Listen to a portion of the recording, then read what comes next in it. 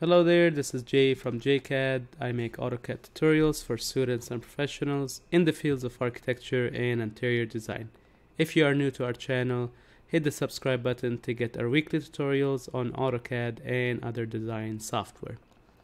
In this video, I'll be talking about the points that you might be seeing in your projects and uh, they might be disturbing or annoying as you zoom in and out. They might get bigger in size or smaller in size and sometimes maybe if you're getting this file from somebody else you can delete them or get rid of them.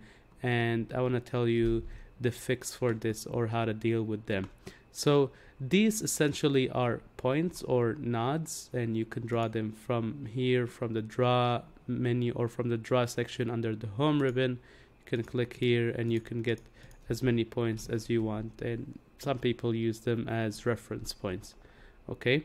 So the easiest way to deal with them is to actually go to utilities under the home ribbon utilities the expanded menu and then click on point style and then from here just change the point style to a regular dot and then hit the ok button and they will disappear. They don't exactly disappear they just literally become a dot and that is barely visible which is the easiest fix for that. Um, also they might you might have a different kind of issue where the point is not doing that rather than getting bigger or smaller as you are working on the project. They're just really big like a specific size. And uh, let's say from here point style let's do this uh, even bigger let's do like something like this. So the sizing of the point there's two modes for how the points are sized when they have like a different icon to represent them. They're either relative to screen or they are set in absolute units and when they're set in absolute units they don't they don't resize as you are zooming in and out while the relative it will resize them to a percentage of your screen.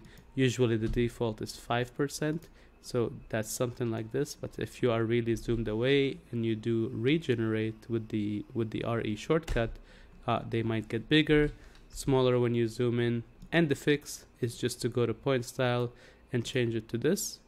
Or of course you can select one of them and then select all right click and choose select similar and then you're able to select all of them and you can delete if if that's what you want to do and that was it regarding points in AutoCAD